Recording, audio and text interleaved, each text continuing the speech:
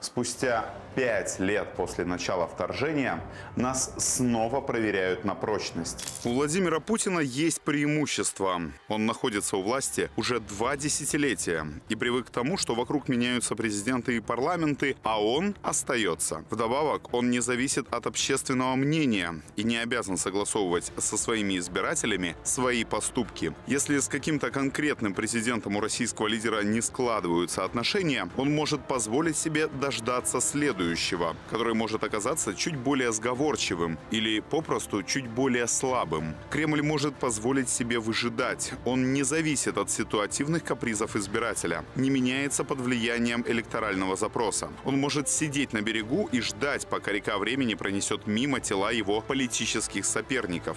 Украинский избиратель может устать и захотеть перемен. Только почему нам кажется, что эти перемены должны случиться с российской политикой в отношении нашей страны? Кремль не устанет, не передумает. Роль, которую он отводит Украине, останется неизменной. Колония. Во всех смыслах, от экономики до промышленности, от языка до собственной версии истории. Число провокаций со стороны России будет лишь расти, потому что это всего лишь проверка, проверка на прочность. Тем более, что после выборов Украина выглядит уязвимой в силу неопытности новой администрации. И нет ни одной причины, почему Москва не должна проверять нас на готовность капитуляции. Тем более, что это окно возможностей для нее может открыться даже не в силу злого умысла новых украинских руководителей. Оно может открыться просто в силу отсутствия у них политического опыта.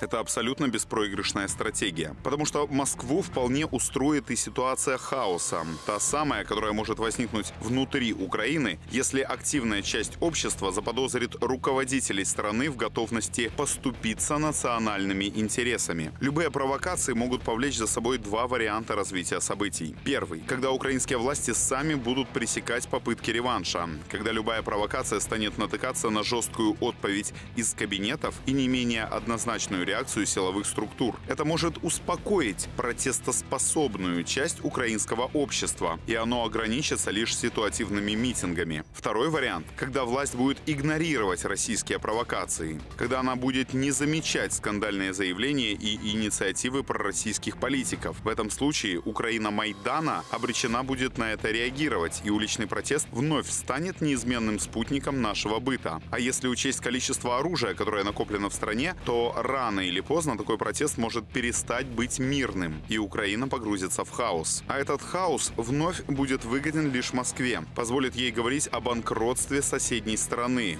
Кремль сможет предлагать мировым столицам переговоры о судьбе Украины без участия самой Украины. В конце концов, пять лет назад вторжение в нашу страну опиралось на все те же два фактора, которые возникли после бегства Януковича. Это управленческий хаос и кризис легитимности. И вся эта ситуация загоняет нового президента президента и его администрацию в пространство довольно простого выбора. Можно не замечать российских попыток проверять Украину на прочность и в итоге получить обвинение в предательстве национальных интересов и обнаружить баррикады в центре столицы со всеми вытекающими последствиями для страны. Или можно попробовать реагировать на вызовы, давать политические оценки провокационным идеям, развеивать подозрения в бесхребетности и беззубости и защитить тот политический консенсус, что успел сформировать сформироваться в стране после начала войны. В результате президент лишится поддержки той части избирателей, что голосовала за него в надежде на скорый мир, но сохранит относительную легитимность в глазах тех, кто прошел через фронт, а вместе с ней и монополию на насилие. Ту самую, которую уже пять лет оспаривает Москва.